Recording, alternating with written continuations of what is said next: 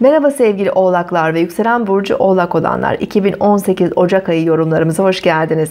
Sevgili oğlaklar Güneş, Venüs, Plüto sizin burcunuzda ilerliyor ve yeni yıla Yengeç burcunda meydana gelen güçlü bir dolunayla başlayacağız. 2 Ocak'ta 11 derece Yengeç burcunda ilişki evinizi aydınlatan, parlatan bir dolunay meydana geliyor. Balık burcundaki Neptün'den çok güzel bir üçgen açı alıyor bu dolunay. Ee, aynı zamanda Mars, Jüpiter, Akrep burcunda ve ayın genelinde özellikle ilk yarısı içerisinde burcunuzdaki Güneş'in, Venüs'ün, Plüton'un, Mars ve Jüpiter'le güzel açıları, destekleyici pozisyonları var. Tüm bunlar Ocak ayının sizin için muhteşem bir ay olabileceğini işaretçisi. Dolunay zaten çok güzel enerjiler taşıyor ve diğer gezegenlerin de güzel destekleriyle beraber özellikle ilişkilerinizle ilgili, işbirlikleriyle veya özel ilişkilerinizle ilgili güzel e, adımlar atabilir. Hatta önemli bazı dileklerinize, hayallerinize kavuşabilirsiniz. Evlilik gibi konular, ortaklık gibi konular bu ayın gündeminde. İlk 15 günlük süreç içerisinde bunlarla ilgili önemli bazı gelişmeler var ve kuşkusuz bunlar sizi uzun vadede destekleyecek, güçlendirecek, mutlu edecek gelişmeler olabilir. Şu dönemde olmayan, gerçekleşmeyen her neyse unutmayın ki onlar sizin için gerekli değil, yararlı değil. Çünkü gökyüzü sizi desteklemek istiyor ve karşınıza çıkaracak her şeyde sizin hayrınıza olacak gelişmeler.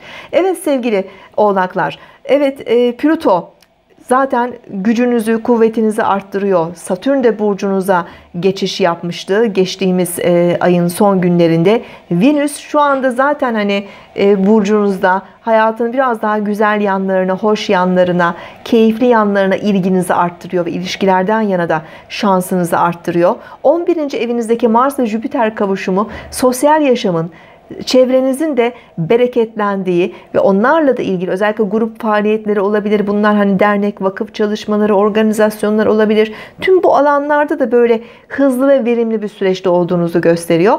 E, ay içerisinde meydana gelen bu dolunay yeni ay döngüleri de Mars ve Jüpiter'le de etkileşimi güzel.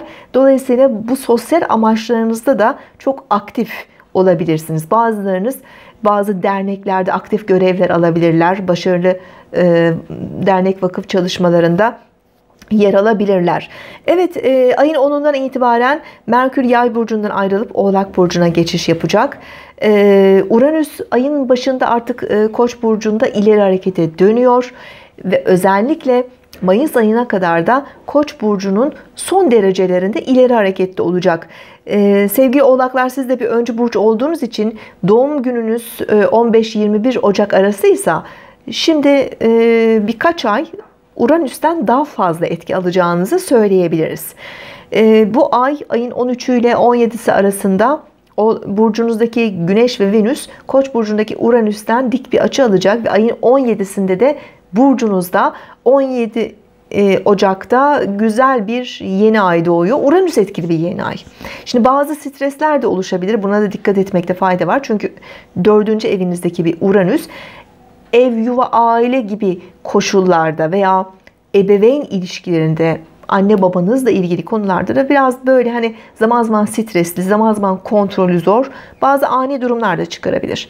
Ama çok fazla stres olmaya gerek yok. Çünkü Jüpiter'in e, güzel desteği var. Özellikle burcunuzdaki Plüton'da çok güzel bir açısı var. Yine burcunuzdaki Merkür'ün Neptün'le, Jüpiter'le, Plüton'la güzel kontakları olacak.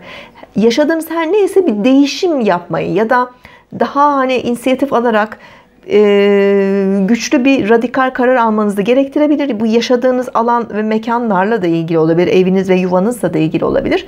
Ama bunlarla da ilgili doğru zamanda doğru adımları atabileceğiniz, doğru temaslar kurabileceğiniz, size gerçekten destek olabilecek e, kişilerin karşınıza çıkabileceği, iletişime geçebileceğiniz bir süreç.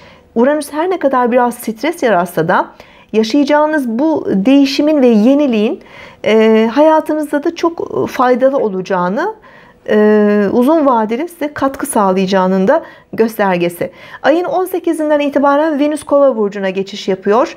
Ayın 20'sinde de Güneş Kova burcuna geçiş yapacak ve ayın son günlerinde artık para eviniz daha fazla aydınlanacak. 31 Ocak'ta da Aslan burcunda bir ay tutulması var dolunay ile beraber. Bunun etkileri tabii ki Şubat ayında daha güçlü bir şekilde hayatımıza yansıyacak ama şunu söyleyebiliriz ki ayın ortalarından sonundan itibaren son haftasından itibaren para kazanmaya daha fazla odaklanıyorsunuz. Kuşkusuz e, parasal kazançlarınızla da ilgili bazı önemli kapılar açılabilir. Yenilikler olabilir sevgili e, oğlaklar. Mutlu ve başarılı bir ay dilerim. Hoşçakalın.